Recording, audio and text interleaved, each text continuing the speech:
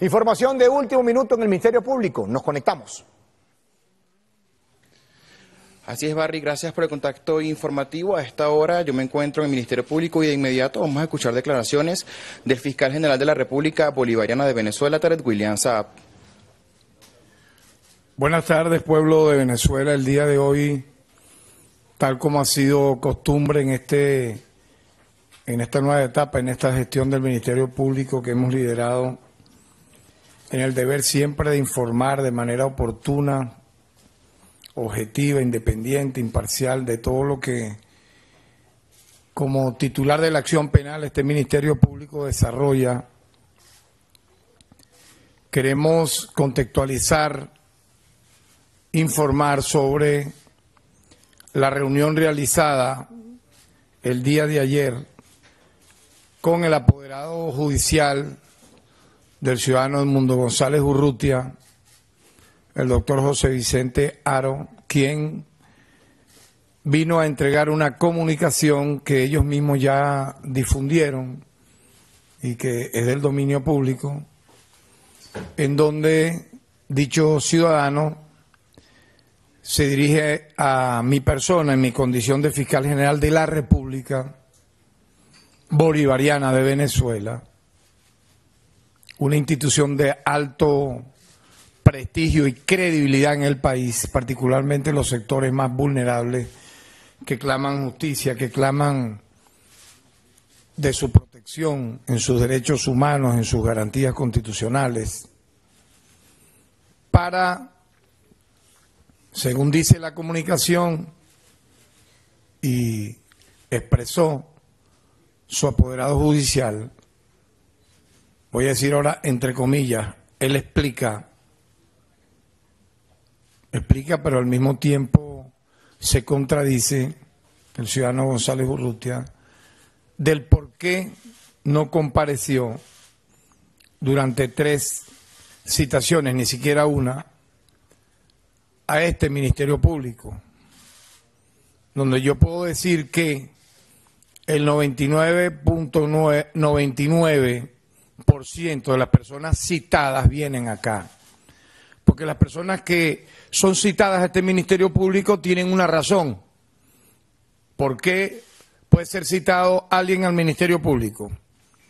En primer lugar, lo voy a decir de la manera más llana, coloquial, pedagógica, porque dicha persona hombre, mujer, ciudadano, ciudadana, está sujeto a una investigación en calidad de, entre comillas, pudiera ser un presunto responsable, pudiera ser un cooperador, pudiera ser un testigo, entre otros tantos motivos.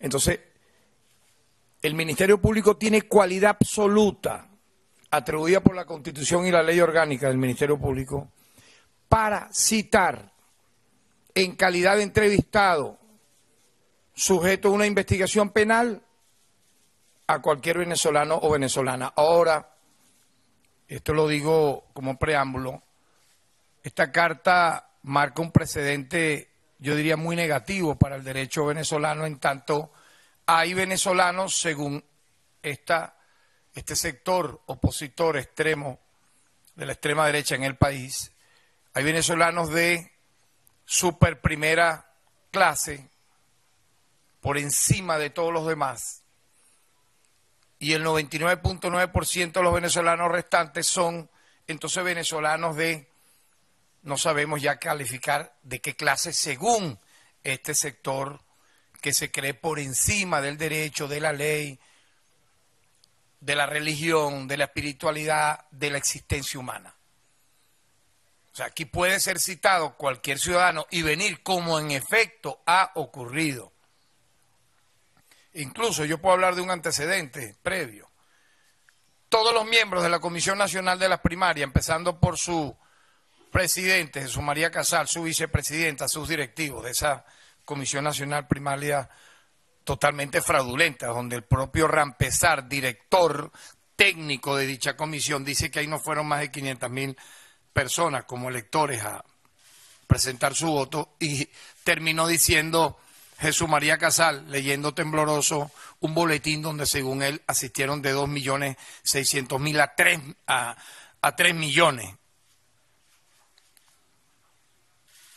Voy a hablar de un caso referencial vinculado a este sector. Él vino, se puso a derecho, fue entrevistado, se trajo a tres abogados, recuerdo, Jesús María Casal. La vicepresidenta se trajo a dos abogados, igual todos los demás. Para poner, digamos, en contexto el por qué está totalmente fuera de lugar la comunicación entregada para justificar, para excusar y al mismo tiempo para declararse por encima de la ley, de la autoridad, del Estado, y teniendo un privilegio que no le dan nada, porque es un ciudadano normal, común, corriente. Yo recuerdo y siempre hago esta, esta, esta aseveración, esta cita, siendo dirigente de comités de base, de derechos humanos, siendo abogado, consultor jurídico de la Comisión Justicia y Paz de Petare, en los años 80, 90, nosotros nos dirigíamos a las autoridades de la época, a pesar de que practicaban el terrorismo de Estado, las desapariciones forzadas, las masacres brutales como Yumar, el Amparo, el Caracazo, de miles y miles de muertos, de Cantaura, nos dirigíamos con un escrito, con, con una formalidad de hecho y derecho basándonos en razones para la defensa de quienes eran centenares y miles de víctimas de esa época, incluso a las autoridades competentes, llamándolos como les corresponde, presidente de la República, ministro, jefe de, del DIN, de, la ICI, como era en la, en la época. Pero vemos ahora que este sector minoritario en su lenguaje, en su forma, en su fondo, pretende colocarse en una atmósfera supraterrenal.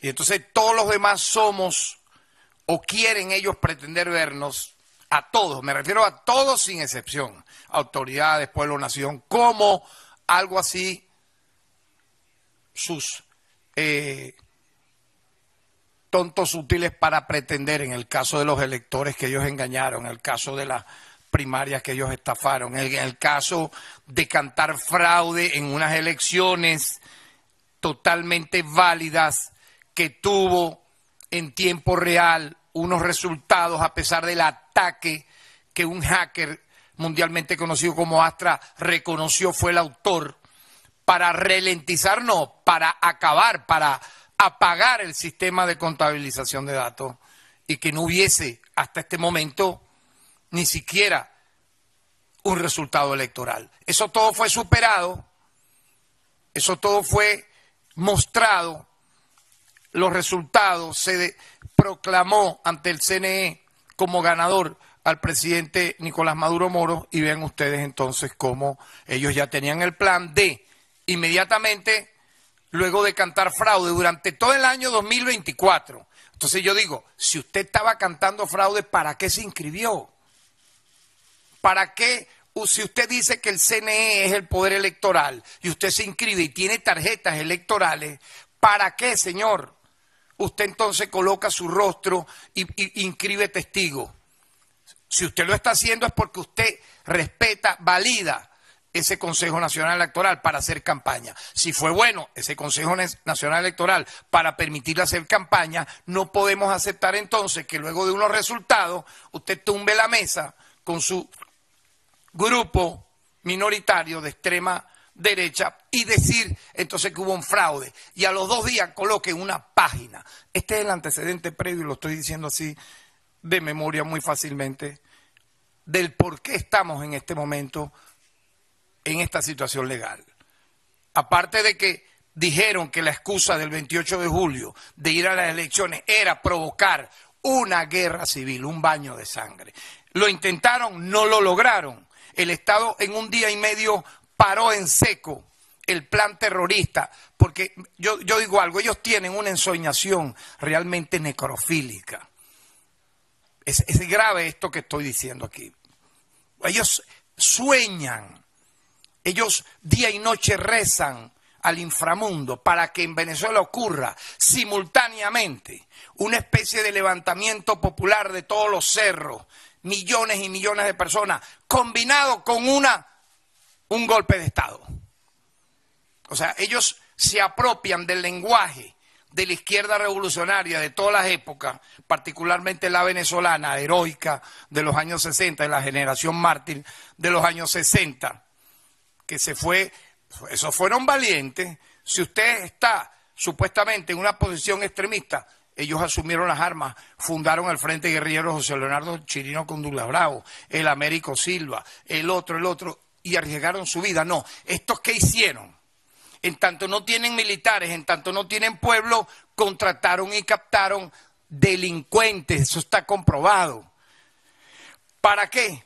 Para cometer atentados contra el venezolano, contra la venezolana, por eso yo los he responsabilizado, son los autores intelectuales de la muerte de 27 venezolanos durante los días posteriores al 28 de julio y, de haber herido mortalmente a 190, de los cuales 100 son funcionarios policiales y militares, de haber atacado y destruido 400 bienes del Estado y, y también privados como escuelas, liceos, universidades, centros de salud, centros educativos, en, esa, en ese plan de ellos querer que Venezuela fuera presentase como que se alzó el pueblo, como que se alzaron policías y militares, incluso le hicieron llamados en un comunicado. El señor Urrutia y la señora.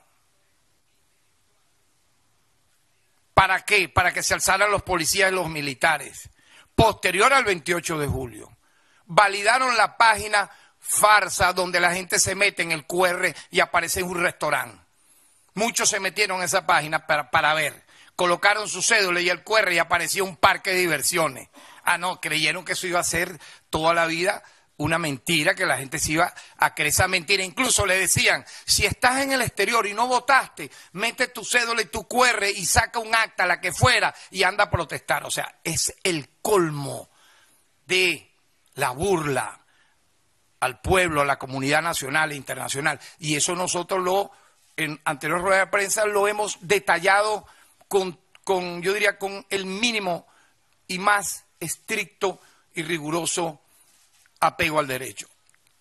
En el Consejo de Estado y Consejo de Defensa de la Nación lo hicimos, ante el cuerpo diplomático lo hicimos. Eso está claro. Ajá. Pero ¿qué, qué ocurre luego de todo esto que estoy aquí describiendo en, en términos muy, muy breves? Ocurre que quien participa, quien quien, a quien lo colocaron a dar la cara para inscribirse, para utilizar como excusa el 28 de julio y cabalgar en una, lo que ellos soñaban, una, una insurrección popular, una rebelión militar, que bajaran los cerros, que hubiera una guerra, un baño de sangre para justificar una intervención militar. Eso está totalmente ya estudiado, evaluado y hay pruebas suficientes de ese plan que les ha fracasado. Ellos tuvieron un momento mínimo, entre comillas, de, euforia el 11, 12 y 13 de abril. Ya vimos lo que hicieron. Mataron a decenas de venezolanos. Quienes teníamos inmunidad parlamentaria como mi persona, siendo presidente de la Comisión de Política Exterior, fui secuestrado y a punto de ser asesinado por unos 20, 30 esbirros de la DICIP del momento.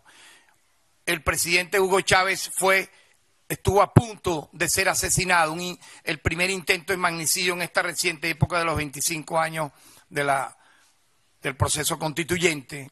Y luego escalaron, ya vimos, la guerra petrolera, el paro petrolero que causó 30 mil millones de dólares en pérdida, los intentos de magnicidio contra el presidente Nicolás Maduro desde el 4 de agosto del 2018 hasta ahora. Entonces, todo esto, como les, les falló de manera absoluta, la página, cantar fraude, buscar intentos de, de golpe, este, sublevaciones. El brazalete blanco fue lo más reciente, con detenidos que confesaron el plan, que nombran, que dan detalles de estos dirigentes de haber hecho todo esto. De pronto entonces, ahora nadie hizo nada. Yo no vi, yo no fui. Porque la carta es algo así. Yo reconozco su autoridad como fiscal general de la República, como Ministerio Público, cosa que tiene el valor que, el pueblo en su gran mayoría lo dice. Es lo que agrega el abogado José Vicente Aro y la carta, lo que agrega es algo que ya es unánimemente aceptado. Pero dentro de la comunicación, ¿qué ocurre?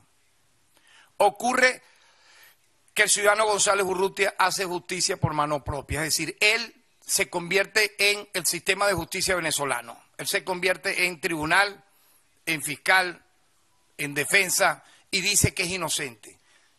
Si usted es inocente, ¿por qué no vino a la primera citación, a la segunda citación, a la tercera citación? Entonces luego envía una carta diciendo que no vino porque presuntamente él no sabía por qué se le estaba investigando. Claro que usted sabía porque estaba en la propia comunicación que se hizo pública. Por eso quiero destacar que en medio de todo lo que, como preámbulo he dicho, se dio dicha reunión el día de ayer. Quiero mostrar la, la foto de, de, la reunión. La podemos ver también en, en pantalla. Una foto que fue conocida, que fue difundida por tanto por el ciudadano José Vicente Aro como por el Ministerio Público. Eh, la carta que fue incluso firmada y recibida por nosotros en ese día, en ese momento en que tuvimos a bien conversar en presencia de el fiscal que lleva la causa, de los directores vinculados a la investigación, donde por cierto tengo que decir lo siguiente, hemos aperturado una investigación de carácter penal para determinar las responsabilidades de quienes han amenazado, amenazado con matar al fiscal que lleva la investigación porque tenemos la experticia de 400 mensajes entre correos electrónicos y mensajes de WhatsApp. ¿Quiénes son ellos para hacer esto? ¿Exponer a su familia al escarnio? ¿O es que no, son estos delitos de odio? Esa es otra parte que, que es bueno mencionar, porque han utilizado, escalado todo esto para lanzar toda una catarata de amenazas, y aquí nadie se rinde, aquí nadie tiene miedo. Yo quiero decirlo de una buena vez, y ya ellos saben que es así, pero igual, amenazando a gente humilde, a gente que, que son, por ejemplo, de bases comunales, de la VC, por haber hecho su trabajo. Vea que mataron a dos lideresas populares del, vinculadas al PSV, vinculadas al partido de gobierno, vinculadas al chavismo. Las mataron. Acuchilladas, a palazos, a tiros. Aparte de los 25 restantes que fuimos mencionando paso a paso. Ahora bien, nosotros aquí hemos recibido, como dije, y tenemos una cifra récord, a más de un millón seiscientas mil personas desde agosto del año 2017 a la fecha tanto en lugares como plazas donde el Ministerio Público va a tu comunidad o el Ministerio atiende tu denuncia a la parroquia, como en despachos fiscales. Bajo ese esquema fue atendido el apoderado del ciudadano Mundo González Urrutia. Un punto ya entrando en materia sobre la carta que debo destacar. El Mundo González Urrutia reconoce la institucionalidad venezolana. Reconoce al Ministerio Público, cosa que tiene un valor para la democracia porque efectivamente si él representó como abanderado electoral a la más extrema derecha, incluso él alardea de que fue diplomático. Bueno, un diplomático lo mínimo es respetar el Estado de Derecho, ponerse a derecho si está requerido, presentar sus alegatos en función de una investigación en curso que se hizo pública y notoria en base a la colocación de una página en, que usurpa funciones, en base a una carta donde él se define presidente electo, no lo volvió a hacer, porque él sabe que eso, él no ganó ninguna elección. Vean que aquí la carta, por favor, yo quiero que, que, la enfoquen acá, está firmada por él y por, por su cédula, ¿no? no como algunos en un delirio de, demencia, no, que por qué tiene eh, que presidente electo. No, pero si él mismo sabe que no ganó nada y él coloca su nombre y su apellido, pero previamente lo obligaron, lo forzaron, según la información que manejamos. Sin su permiso le colocaron presidente electo. No, señor, usted no, eso, eso también es un delito. Entonces, imagínense que cualquiera de ustedes agarre y diga y, y usurpe una función infirme, supóngase que es el magistrado de la sala penal, de la sala electoral, o se coloque alguna de las periodistas presentes o camarógrafo, agarre, manden una carta y diga que son los presidentes de la cadena de noticias tal o cual, cuando lo que son es un periodista o un reportero. O que un ciudadano, por ser abogado, agarre mañana y, y firme una carta con su cédula y diga, fiscal provisorio, competencia plena en tal cuestión. Eso es un delito y eso tiene que investigarse. ¿Por qué? ¿Por qué retar al Estado? ¿Por qué no compareció, por ejemplo, ante la citación que le hace la sala electoral? ¿Por qué? Si fueron todos los candidatos sin excepción, incluyendo el presidente reelecto, y él incluso avisó dos veces que iba. Entonces, al final, esta persona está sujeta a presiones totalmente inequívocas, sin duda, al margen de la ley, lo presionan, lo obligan, le escriben una carta que él no hace, lo colocan a hablar con un teleprompter. ¿Para qué? Para todo lo que dije anteriormente, buscar que en Venezuela se genere y no se va a lograr, no lo van a lograr, un caos, una tensión, una violencia, una situación sobrevenida. Y por ello yo tengo que destacar entonces que al reconocer la institucionalidad venezolana, ciudadano Mundo González Urrutia reafirma la convicción existente en el país de que el Ministerio Público trabaja de manera positiva en beneficio de la justicia y la paz. Pero el recuento que ya conocimos tiene, tiene algunos datos que es bueno destacarlos. Por ejemplo, cuando se dan los resultados en los dos tiempos, el ciudadano presidente reelecto Nicolás Maduro aparece como ganador con el 52% de los votos. ¿Qué hizo el señor Raimundo González Urrutia? Porque ellos dicen, no, yo no sé, yo no supe. ¿Qué, ¿Qué pasó aquí? ¿Por qué me citan? Desconoció esos resultados. Usted se inscribe, aparece su cara en varias tarjetas, tiene su campaña electoral, la hizo, incluso con una persona inhabilitada al margen de la ley la hizo, inscribió, inscribió sus testigos, pero desconoce los resultados. Desconoce los resultados luego que se inscribió, luego que aceptó las reglas del juego. Otro detalle, el grueso de la violencia, que fue entre el 28 y el 30 de julio, todos esos fallecidos ocurrieron el 90%, el 90 de esas muertes ocurrieron entre esos dos días. Nada más y nada menos que 25 fallecidos, las dos mujeres héroes que fueron asesinadas por odio, por ser vinculadas a grupos comunales del partido de gobierno, vinculadas al sector chavista, mueren días después. Pero ¿se debió a qué? Se debió a ese desconocimiento de los resultados electorales. Eso fue la, la, vamos a decir, lo que ellos dijeron, vamos a disparar un detonante que estalle e incendie el país. Si ellos no cantan fraude y desconocen los resultados, no ocurre esto que estoy aquí mencionando, que fue terrible.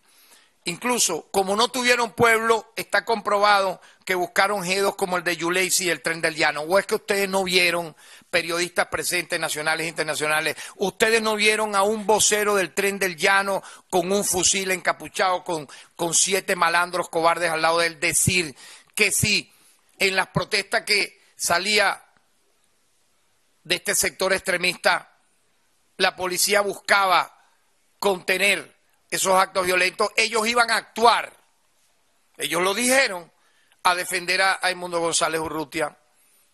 O sea, esto es algo jamás visto. El tren del llano, eso está en videos que se han, se han reproducido en todos lados.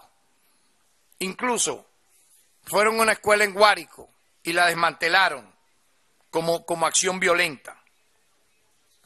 Pero todo esto se evitó en los tiempos que ya conocemos. Yo quiero destacar, producto de ese desconocimiento los resultados, se dio en ese contexto nada más y nada menos que la muerte dentro de los 27 que mencioné a dos funcionarios de la Guardia Nacional Bolivariana, uno ocurrido en Aragua y otro en Nueva Esparta. Hirieron a 195, 195 personas, de los cuales 97 funcionarios del Estado, 98 eh, fueron, aparte de los, de los anteriormente dichos, civiles, es decir, entre agentes del Estado, entre funcionarios encargados de cumplir la ley, 100 heridos de muerte. Como ya dije, contabilizamos 500 ataques entre sedes educativas, de salud, universidades, liceos, sedes del CNE, alcaldías, etcétera. ¿Producto de qué, señor González Urrutia? De usted haber desconocido los resultados. Y hay un detalle que quiero que por favor lo anoten con precisión los amigos de la prensa. ¿Cómo es eso que ahora están abogando por adolescentes, la mayoría de los detenidos de 16 y 17 años, pero por participar lamentablemente, lo tengo que decir con mucho dolor, en actos violentos que están filmados, que han confesado que incluso le pagaron de 20 a 40 dólares. Ninguna ONG tuvo que ver en las solicitudes de libertad, ninguna. Ellas son ONG mercenarias, y aquí yo lo digo. ONG mercenarias que están a la casa de familiares que tienen detenidos en los tribunales, los van cazando, ya los tienen precisados cuando ocurren hechos como estos, y van incluso a la fuera de las cárceles para entregarles, porque tenemos las pruebas, una, una, un modelo, un formato donde los obligan a que ellos sean esos abogados de esas ONG mercenarias que reciben dinero de la USAID y de la NET, sus defensas. Explíquenme, explíquenme ¿Quién solicita ante la autoridad competente las libertades de alguien en tiempo, modo y lugar? El Ministerio Público, ninguna ONG. Quienes salieron fueron por una, una, consecuencia de una revisión de medida del Estado venezolano. Ahora, que luego esa ONG vaya y le cobre a Ulusay y a la NET, ya eso, ya eso se, se sabe y se ha denunciado. Pero yo me hago la siguiente pregunta en torno a este tema. La gran mayoría aparte de los que tienen 16 y 17 años de edad, que nos afirmaron en las entrevistas que fueron, les dieron de 20 a 30 dólares para utilizar motos, para lanzar bombas, para quemar lugares, a los que se les revisaron la medida. Yo lo dije el principio, ahí están las alocuciones mías. Para eso está el debido proceso y ya está un Ministerio Público garantista. Quien no tenga cualidad o vinculación directa a un hecho punible, podrá ser objeto de una revisión de medida, de un sobrecimiento, pero el que no tendrá que ser, obviamente, no solo imputado, sino luego acusado e ir a fase de juicio. Entonces, este, esto un poco aclarando todo, pero la, la gran pregunta es, cuando nosotros interrogamos a los jóvenes, a la gran mayoría, vean esta cifra, 70% de los detenidos, si usted votó, si usted ejerció el voto, te dicen que no. No votaron. Y muchos de ellos dicen algo peor, no están inscritos. Entonces, en su mente, pensemos lo siguiente, vean la maldad, el maleficio, lo repudiable, lo depravado de esta gente. Captan a jóvenes que ni siquiera ejercieron el voto y no están inscritos para supuestamente protestar por unos resultados electorales que no ni siquiera les duele porque no votaron. Si usted no votó, si usted no está inscrito, si usted ni siquiera le interesó el comicio electoral, ¿cómo es eso que va a ir a, a supuestamente manifestar? No, usted no manifestó, lamentablemente lo captaron, lo compraron, le dieron 20, 40 dólares, le dieron droga, captagón particularmente, para cometer actos violentos. Eso da dolor. Esta gente no tiene escrúpulos. No han presentado un solo caso vinculante a una actuación irregular, violatoria de derechos humanos, en caso de muertos o heridos. Vinculante a ningún cuerpo de seguridad del Estado. Lo he dicho una y otra vez y lo sigo repitiendo. A casi 40 días o 45 días del, del post 28 de julio no han presentado una sola denuncia a nadie. ¿Por qué? Porque no la hay. Y si la hubiera, ¿qué hemos hecho en anteriores casos? Procesamos a quien ha cometido el hecho punible, lo presentamos ante la ley. ¿O es que acaso no se conocen las cifras de funcionarios que lamentablemente han violado derechos humanos en Venezuela, que obviamente son cifras de las menores en el hemisferio occidental y están a derecho, por Dios. Pero entonces lo, peor es lo siguiente, utilizan la narrativa que, que ha utilizado los verdaderos defensores de los derechos humanos del mundo en relación, por ejemplo, a Gaza. Ustedes saben cuántos niños, bebés recién nacidos, mujeres embarazadas han matado en Gaza. De las 40.000 asesinadas, la gran mayoría son bebés recién nacidos, niños menores de edad y mujeres embarazadas o mujeres. De eso no hablan. Yo quiero ver que se contabilice en las cadenas de grandes medios cuántos reportajes han hecho en Gaza para hablar de los menores, de los niños masacrados y que están presos en lugares de reclusión sin que los vean familiares algunos allá en Palestina y luego llevados a Israel. Yo quiero que aquí me lo digan. los que están aquí de los medios de prensa internacional. ¿Cuántos reportajes han hecho en tiempo, modo y lugar con cifras de los menores asesinados, matados, apresados en Palestina por el Estado sionista de Israel. Ni un reportaje, ni un reportaje. ¿Cuántos han hecho de los migrantes de cuatro, cinco, tres, seis años que se paran en Estados Unidos de sus padres en la frontera de México y no los ven más nunca los niñitos? ¿Cuántos reportajes han hecho en estos últimos tiempos sobre ese tema? Ninguno.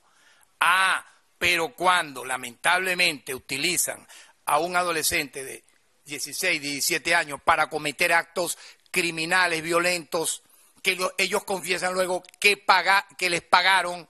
Allí sí entonces empieza una narrativa, eso de ahorita ya, de unos días, luego de un mes, porque es que no, no tienen, ya no tienen nada que mostrar. Como no tienen nada que mostrar, quieren manipular y por eso yo lo denuncio. Como verdadero activista, defensor de los derechos humanos que he sido toda mi vida, de los 15 años lo he sido cumplir ese sentido. Eso es una infamia.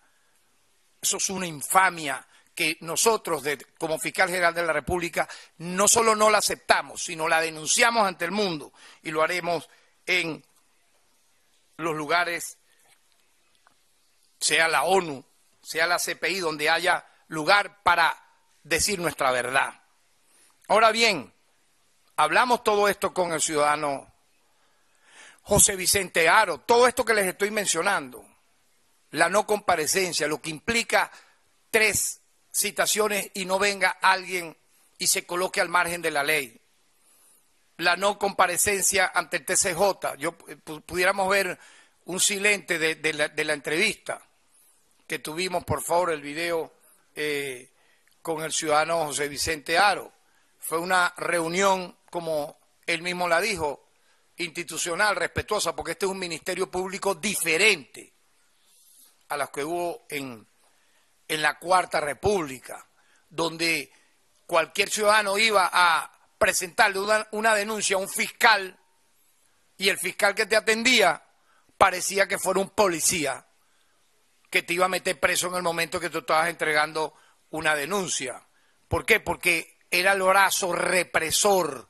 Eso sí era terrorífico. Eh, a, mí nadie me va a dar clase de eso, porque lo viví en los años 70, 80, 90. Era el brazo represor de carácter jurídico legal del terrorismo de Estado implantado en nuestro país. Nosotros hemos demostrado cosas totalmente diferentes, señores. Por eso es que él viene acá, por eso es recibido. Como él, dije, un millón seiscientos mil personas en los últimos siete años. Pero nosotros explicamos, aquí hubo un contencioso electoral que, interpuso el presidente Nicolás Maduro el 31 de julio ante el Tribunal Supremo de Justicia para que fueran certificados los resultados de las elecciones presidenciales emitidas por el Consejo Nacional Electoral motivo por el cual la sala electoral abrió un proceso de peritaje de los resultados y la revisión de cualquier denuncia de irregularidades. Ese era el momento. El que no la debe no la teme. ¿Por qué no compareció? ¿Por qué no mostró las actas?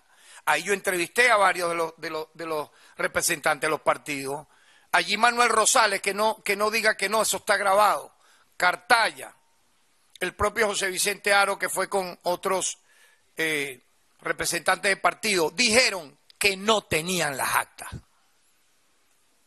Entonces, ¿de qué entonces usted habla? Las actas de esa chimba donde usted metía el QR en la página esa resultados.com y cuando metía la QR le salió un restaurante, le salió un parque de diversiones. Cuando metía la cédula aparecían votando muertos. No, ya eso, ya eso no se lo cree. Ellos mismos no se lo creen. Pero todo esto tiene que ver con el por qué ha sido citado el Mundo González Urrutia. No apareció en ese contencioso electoral. Pero hay un link, hay un link que se llama, que, al cual he hecho referencia, que fue difundido por el ciudadano Mundo González Urrutia. Él lo difundió, él validó, por eso es que ha sido citado, él validó esa página web farsante y falsa, totalmente al margen de la legalidad.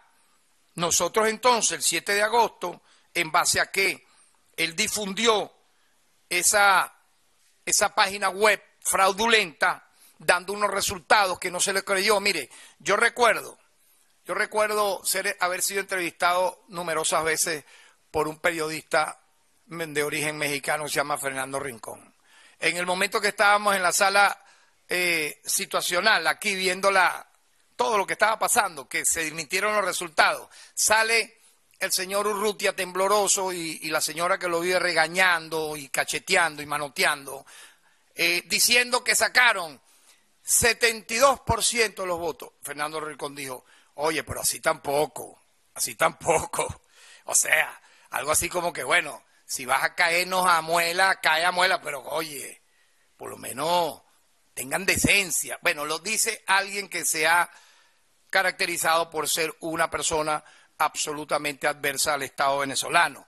Pero ellos creyeron que iban a, salirles bien la jugada, ¿no?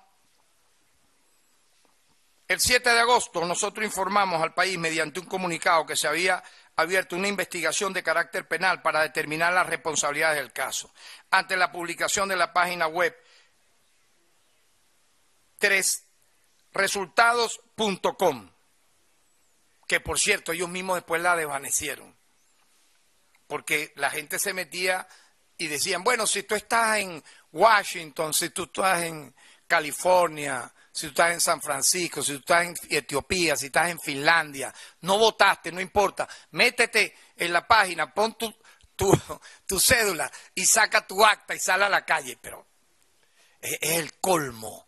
O sea, eh, por eso es que están diezmados, por eso están totalmente descubiertos, están literalmente no solamente divididos, implosionados y, corriendo todo ese sector, sino que el pueblo, la comunidad nacional e internacional, sabe que todo lo que yo estoy diciendo aquí en este momento es absolutamente verdad y real.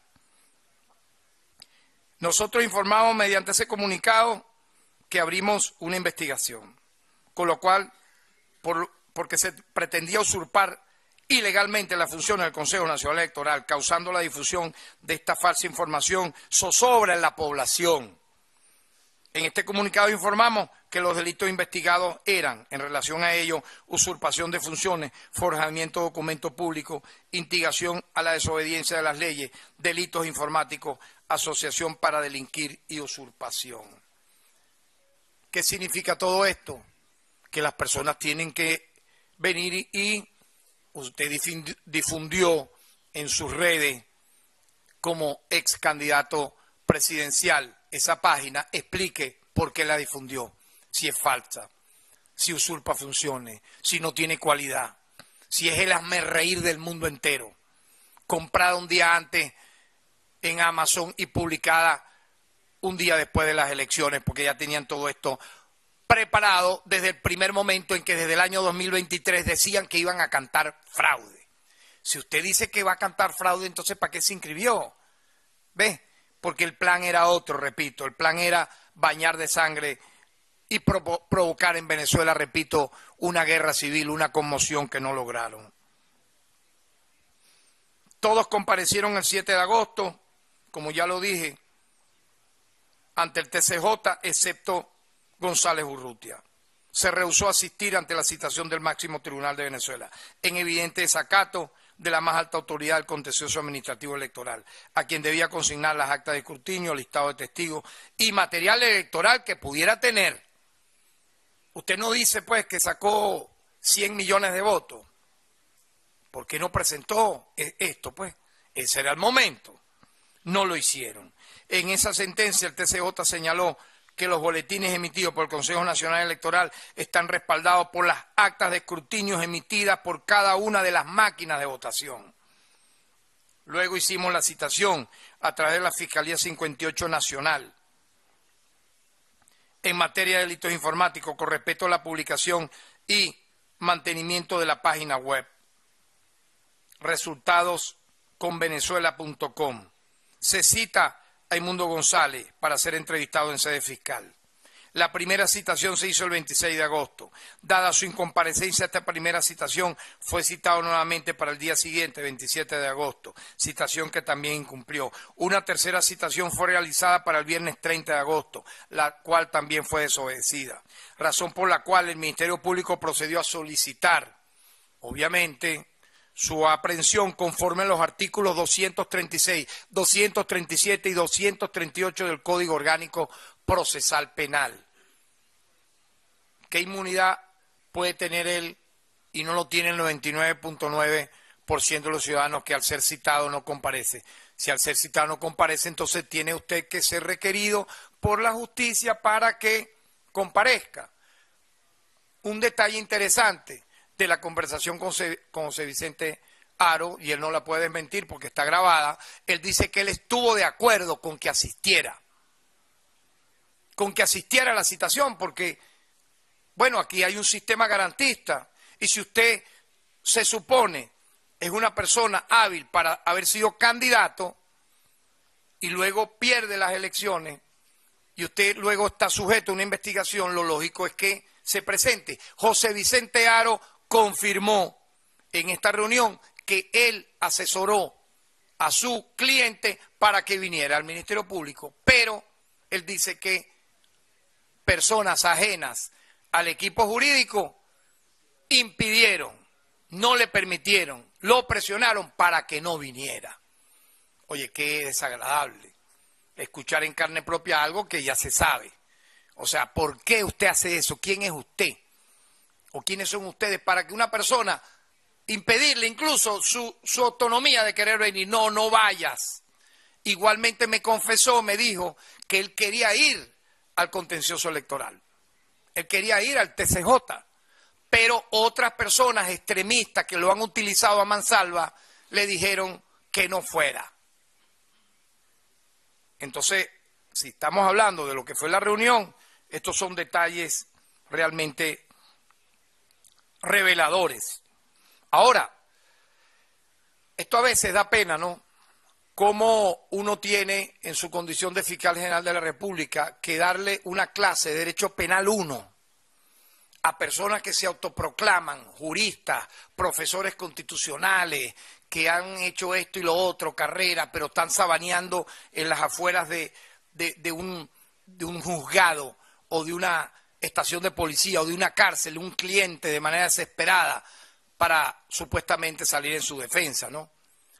Entonces, dicen una y otra vez, es como algo, algo realmente, yo lo dije, el ignorante, porque no ha estudiado está bien, pero el ignorante es supino, el que es un ígnaro porque habiendo estudiado, al final es un ignorante, tiene, tiene una cualidad doble en su personalidad negativa. ¿Ven? Porque, vean ustedes, el Ministerio Público tiene cualidad, igual el fiscal general de la República, me incluyo, porque las competencias son dentro de la Constitución y en la ley orgánica del Ministerio Público. Iniciar una investigación y en base a ella entrevistar, entrevistar a las personas que nosotros consideremos pueden ser sujetos de dicha investigación para que aporten información en calidad, repito, de indiciado, de testigos referenciales, de lo que fuese. Entonces hay que explicar esto una y otra vez, porque no es que no sé por qué me, me, citaron, es que no sé, el Ministerio Público no tiene esa cualidad. El Ministerio Público está precalificando. Señor, si usted libra una orden de aprehensión, usted tiene que explicar en un escrito, en este caso fue de casi 100 páginas, el por qué la está librando. Y tiene que colocar los delitos. No, este, el Ministerio Público ahora está acusando.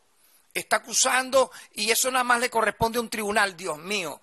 Pero, pero, señor, ¿dónde ustedes se graduaron? ¿En dónde? ¿E, ¿En cuál escuela prematernal estudiaron derecho? ¿Ve? Para decir tamañas, barbaridades una y otra vez y presentarse con una corbata y un flu y una como si son los más letrados cuando no lo son, porque no han ejercido el derecho, ¿vale? Eso es estar metido en una biblioteca y tirarse una foto con 100 libros atrás, pero no han, no han pateado tribunal, no han pateado estación de policía, no han defendido víctimas, no saben nada de eso, no saben lo que es la lógica jurídica, no aplican nada de lo que es la, experiencia, la experticia, no. Entonces van a venir a darle clase al Ministerio Público que tiene el más alto nivel de credibilidad en este país, de prestigio, por ser particularmente un equipo técnico de alto nivel. No puede ser entonces. Nosotros hicimos las citaciones en base a qué? En cumplimiento del artículo 285, numeral 4 de la Constitución de la República Bolivariana de Venezuela, para ordenar las diligencias pertinentes y necesarias en el cumplimiento del artículo 111, ordinal 1 del Código Orgánico Procesal Penal ¿Por qué? Porque luego de recibir una denuncia o conocer de un hecho punible, de forma obligatoria debemos evaluar circunstancia, modo, tiempo, lugar de cómo ocurrieron esos hechos. En este sentido, la Ley Orgánica del Ministerio Público, en su artículo 16, numeral 2, nuestra institución tiene la competencia de, y esto se lo dijimos en la reunión al, señor José Vicente Aro, ordenar, dirigir y supervisar todo lo relacionado con la investigación y acción penal, practicar por sí mismo o por el Cuerpo de Investigaciones Científicas, Penales y Criminalísticas o por los órganos con competencia especial y de apoyo en materia de investigaciones penales las actividades indagatorias para demostrar la perpetración de los actos punibles, hacer constar su omisión con todas las circunstancias que puedan influir en la calificación y establecer la responsabilidad de los autores o las autoras y demás partícipes. Obviamente, entre las actividades indagatorias que puede realizar el Ministerio Público está la práctica de entrevistas a personas que estén vinculadas a un proceso, a un presunto hecho punible. Ya lo he repetido varias veces durante esta locución. De tal manera que las citaciones realizadas al señor González Urrutia para ser entrevistado están perfectamente ajustadas a derecho y son necesarias para proseguir la investigación. Al negarse a acudir, el señor González Urrutia está, como dijimos, antes, obstaculizando la investigación, porque lo están forzando. ¿Ve? Una de las diligencias que dijo José Vicente Aro iba a hacer era buscar convencerlo a que comparezca. Bueno, que usted está requerido judicialmente y está obligado a comparecer porque la orden de aprehensión está vigente. Para terminar, he citado en otras entrevistas previas y en otras alocuciones el caso muy notorio de figuras que han sido presidentes, expresidentes, que han sido citados y han ido a los tribunales y han ido al Ministerio Público de sus países. El caso más reciente es el de Donald Trump. Siendo expresidente y precandidato presidencial ha sido sometido a juicio y también condenado por cometer 34 delitos Trump tuvo que asistir a todas las sesiones de este juicio penal, más de 20, porque de no haberlo hecho se habría emitido una orden de arresto en su contra. Aquí hay varias cadenas internacionales transmitiendo.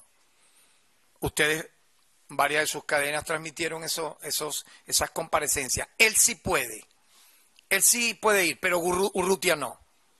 Urrutia se coloca al margen de quien es su referente. No, Estados Unidos, la democracia de Estados Unidos, entre comillas, sus autoridades. Esta persona sí, el caso de Trump. Ah, pero Gonzalo Urrutia no, porque él, él es supraterrenal. y los que lo acompañan. Otro caso que vale la pena recordar es el alcalde chileno, a quien conocimos varias veces aquí en Venezuela de origen palestino, Daniel Hadwe. Es el político más importante, más representativo de la izquierda chilena y por eso se lo llevaron preso. A Hadwe se le dictó prisión preventiva a petición del Ministerio Público de Chile.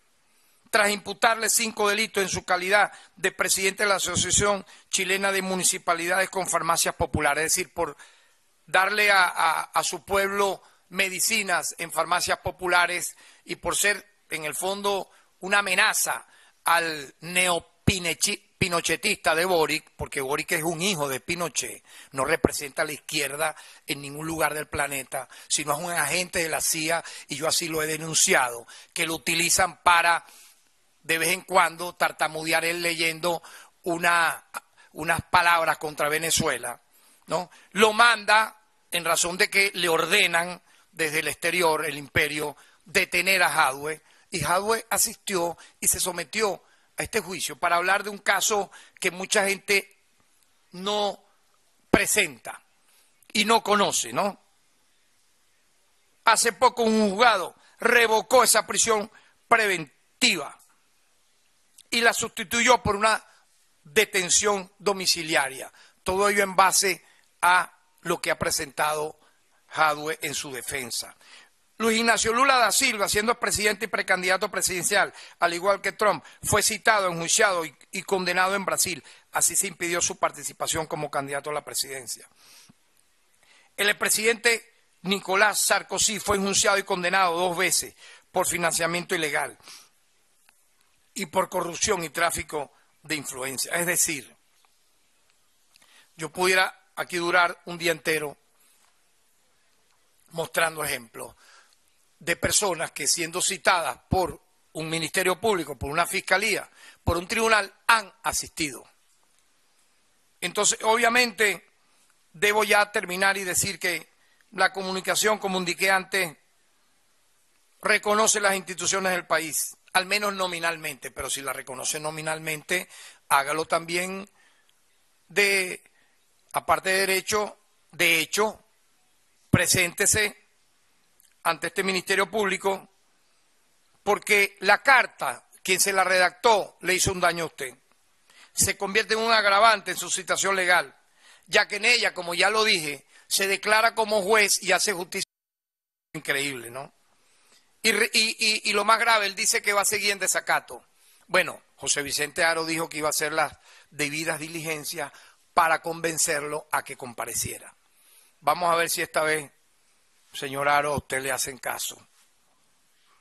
En este sentido, tal como se lo hicimos saber, el Ministerio Público ratifica la citación con la orden de aprehensión en curso al señor González Urrutia para ser entrevistado y ratifica que se encuentra solicitado y se debe presentar y poner a derecho, tal como corresponde en el marco de la Constitución y la ley. Creo que hemos sido suficientemente claros en todo lo que fue esta reunión, en cómo ocurrió, en contexto en que se dio, los antecedentes previos a por qué se dan las citaciones, lo que ocurrió antes y después del 28 de julio, donde por cierto ya no hablan de los de las personas humildes que ellos asesinaron. Esa extrema derecha literalmente se responsabilizó en mandar a matar. Ve que no los mencionan.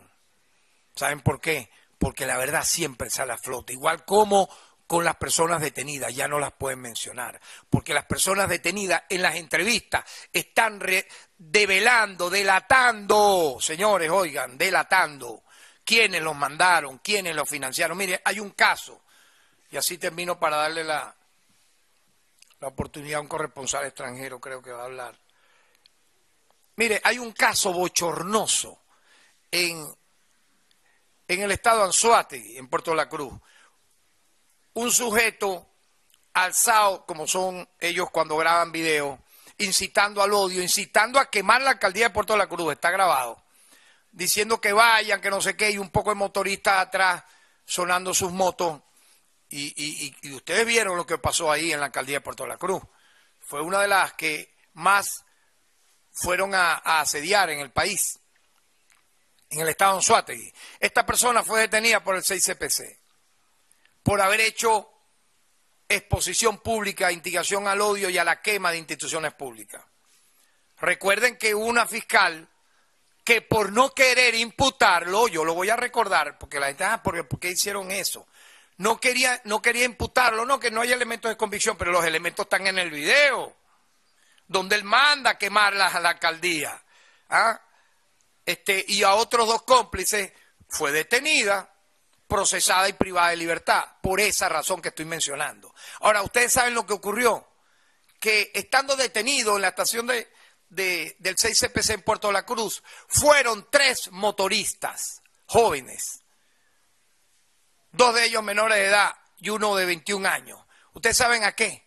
No a pedir la libertad del señor financista que salió en el video, sino a pedir que le paguen, que le pague los 20 dólares que le ofreció y que no se los pagó. Porque él agarró y dijo, aquí tengo 100 dólares, búscame tú, Pedro, a cuatro más. Entonces serían 5, 20 dólares a cada uno para que lleguen y, asedien la, alcaldía de Puerto La Cruz y, suenen sus motos. O sea, él, en este caso estos jóvenes era que quisieran ruido y, pasaran donde estaban quemando, ¿no? Entonces fueron a reclamarle a la persona esta detenida, oye, páganos, ¿vale? No sea delincuente, doble delincuente. O sea, aparte que que, incitaste a quemar una alcaldía, le, le ofreciste 20 dólares a estos muchachos y luego no se los pagaste. O sea, fíjense, es algo como pareciera una cosa surrealista, ¿no? Un teatro bufo, pero muy delicado, que comprueba y estamos haciendo todo un informe.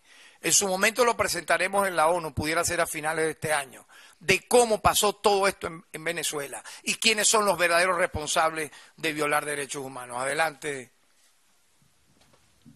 Muy buenas tardes. A cargo de la pregunta, el periodista de Telesur, Luis Guillermo García.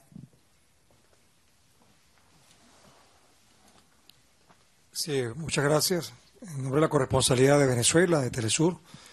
Bueno, hay varias cosas que he recogido conversando con algunos colegas acá. Una de ellas, por cierto, estamos compartiendo, no sé si ustedes la, han visto, ha salido por algunos medios digitales, un, un material sobre la publicación en X del 29 de julio.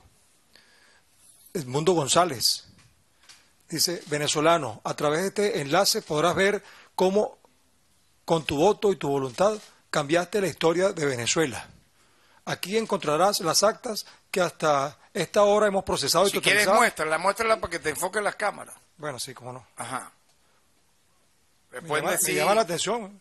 Pueden decir que no, que estás inventando ahí algo. Hemos procesado y total. dice, aquí encontrarás las actas que hasta. Ah, pero muéstralas a las cámaras, muéstralas a las cámaras. ¿Cómo no? Con todo gusto. Pues entonces tengo que ponerme aquí para poderla leer. No, no, porque pues, ajá, ahí está. Aquí encontrarás. En base a esa experticia fue que iniciamos la investigación. Hasta ahora hemos procesado y totalizado y que confirman nuestro extraordinario triunfo.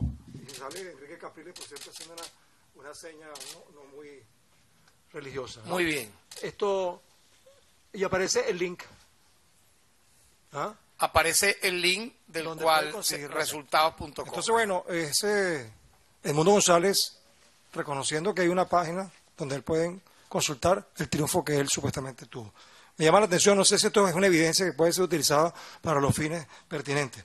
Hay otro caso que quiero mencionar también, que lo tengo aquí a disposición, y es que llama la atención que usted fue testigo judicial pues, en, la sala electoral del Tribunal Supremo de Justicia, en el contencioso administrativo, y estuvo presente en todos los procesos vinculados con esa investigación del, del máximo tribunal que al final ratificó el resultado que el CNE dio a conocer.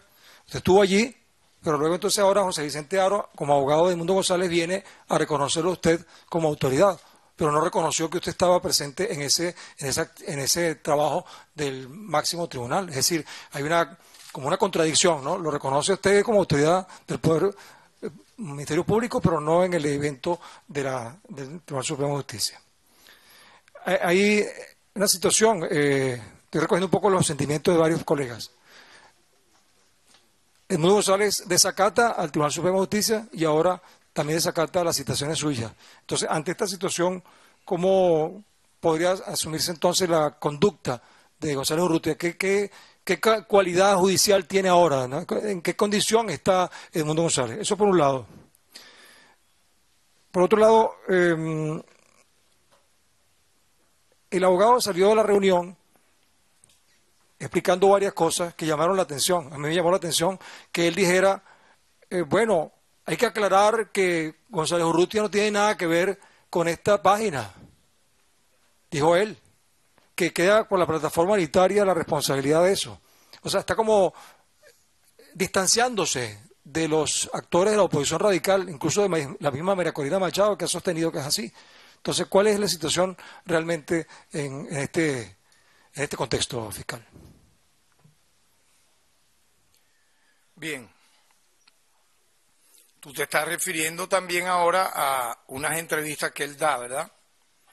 Al salir de... Sí, él, salió diciendo que, bueno, quiero aclarar que Edmundo González no tiene nada que ver con la página, que eso es responsabilidad de la plataforma unitaria. Incluso dijo que había que se había llegado a un acuerdo para no visitar la residencia de, la esposa, algo totalmente infame que no, que nunca nadie en este ministerio público expresó. O sea, el acuerdo no es que no es que hubo un acuerdo, es que eso no existe. Empecemos por esa declaración a la que usted hace referencia. No existe que el Ministerio Público, en tanto titular de la acción penal, vaya a visitar el domicilio de la señora esposa de González Urrutia, en tanto quien está procesado, quien está investigado, quien está sujeto a la solicitud de orden de aprehensión es él, no ella. Así que no utilicen, ¿verdad?, chivos expiatorios para querer escalar en una situación que no les luce. Pero ellos son capaces de todo. Y tú me hablas de esa entrevista y yo te aclaro que nunca eh, este Ministerio Público ha tenido como situación objetiva, de hecho o de derecho, estar investigando a la señora esposa de Mundo González Urrutia. Ellos tal vez están buscando algo nefasto con ellos, pero no, no lo logran, porque este, este es un Estado de Derecho que respeta las garantías constitucionales, que respeta los derechos humanos, no lo que ellos han realizado incluso sin estar en el poder. Veamos lo que hicieron el 11, 12 y 13 de abril. Mataron a decenas de personas, promovieron los peores crímenes de odio, quisieron ocasionar una guerra civil y propulsaron un golpe petrolero que le causó pérdidas a la nación por más de 30 mil millones de dólares. Para no hablar de las mil sanciones de las cuales está sujeta Venezuela, que ha ocasionado violaciones masivas a los derechos humanos, que culpa de dichas sanciones han muerto muchas personas en hospitales, muchas personas no han podido cómo tener un salario justo, cómo, cómo poder tener su acceso a la economía. Pero ellos lo utilizaron en esa burda campaña diciendo que habían un éxodo de migrantes, por eso es importante su pregunta, porque me, me permite hablar de la guerra híbrida otra vez. ¿Cuál es parte de la guerra híbrida? Utilizar el, el laufer, es decir, las vías judiciales para lograr por lo que no, no has logrado por, la vía de un golpe de Estado, o sea, un golpe institucional. Han buscado lavados de cerebro a través de redes, crímenes de odio, eh, generar división en el país y con las sanciones, porque eso está estudiado dentro de los manuales de la guerra híbrida, a más sanciones, ¿qué ocurre? ellos buscan que haya éxodo de migrantes. ¿Para qué? Para provocar un caos en el país y para generar implosión y tener entonces la excusa para la toma del poder por la vía violenta. Cuando usted ve a un migrante fuera, piense en esas sanciones. ¿Por qué en la era previa a esas sanciones aquí no se dieron éxodo masivo de migrantes venezolanos? ¿Ustedes recuerdan del año 1999 al año 2000? 15, cuando Obama lanza aquel decreto colocando a Venezuela como un país que supuestamente era una amenaza para los Estados Unidos, que fue la puerta de entrada para las sanciones que alebresta, que lleva a la máxima, diría, exposición Donald Trump. ¿Ustedes habían visto eso? No. Claro que no. ¿Cuándo lo vieron? Cuando comenzó la política de sanciones de cerco económico contra Venezuela. Cada vez que ocurra un tema que les hablen de esto, quienes han dividido a la familia fueron ellos, a través de promover sanciones globales de todo tipo contra nuestro país. Por lo tanto, lo que han dicho en esa posterior a la, a la, a la reunión no tiene ningún tipo de basamento real en tanto esto es lo que estoy aquí narrando en términos jurídicos. Usted me pregunta por su situación, su situación ha sido de contumacia. Él está en una situación contumaz, ¿por qué? Porque se le cita una y otra vez y no viene. Entonces, la orden de aprehensión está vigente. José Vicente Aro dice que iba a hablar con él, porque él dice que terceriza su conversación a través de, varias escalas. Entonces, eh, es como un apoderado judicial virtual, ¿será? Yo nunca había visto eso, ¿no? Pero bueno, este, él dice que va a hacer llegar el mensaje. Eh, que González Urrutia reconozca a Taregulia Sá como fiscal general de la República. Bueno, es un hecho real, público notorio, comunicacional, ellos han divulgado la carta. Pero si usted reconoce este Ministerio Público como institución del Estado, titular de la acción penal, garante de la, del Estado de Derecho, debe asistir, debe comparecer debe presentar sus alegatos, debe, en base a la investigación en curso, a las preguntas que ya están desarrolladas, responderlas. Eh, eh, es, lo que, es lo que toca, según lo que usted me está preguntando. Y ya lo de la página que usted mostró, obviamente, a partir de ahí fue que se inicia la investigación, en tanto él avaló sin que haya un, soporte. Ahora, ¿qué es interesante también? Y eso lo tienen que reseñar los medios que él en la carta dice que no tiene nada que ver con esa página. Ah, porque sabe que la página es chimba. Porque sabe que esa página usted se mete en el QR y aparece comiendo en... ¿Dónde? Para ver. En Notre Dame, en Ámsterdam. ¿Cómo es eso? En Tokio. Ese es el QR de votación, chicos, de una, de una página seria, por Dios. O votando cuando ponen la cédula personas fallecidas. Ah, entonces ahora, como ya se ha develado esto, dicen, no, yo no tengo nada que ver con esa página. Esa página, ahí sí lo dijo José Vicente varias veces, él no tiene nada que ver con esa página, esos fueron otros. Pero entonces, ¿por qué la difundió? ¿Por qué la publicó? Por eso que ellos dicen, no, ya ahora ya no hay que hablar más de las actas. ¿No se han dado cuenta de eso? Hasta pusieron a hablar a la alcaldesa de Madrid. No, ya, ya no hablemos más de las actas, no, no hablemos más de las actas. Claro, porque este, antes ellos decían acta, acta mata otro, ¿se acuerdan? O sea, es siempre mutar en la trampa, ¿no? Entonces esta vez, acta chimba, fraudulenta, que te pone a, a querer sacarla en una página web cuando tú no estás inscrito. Así no estás inscrito en el Congo belgas, mete tu, tu cédula y saca la página y sale a protestar. No, mira, ya las últimas veces no he ido a protestar ni siquiera ellos mismos han salido. Ellos mismos no salen.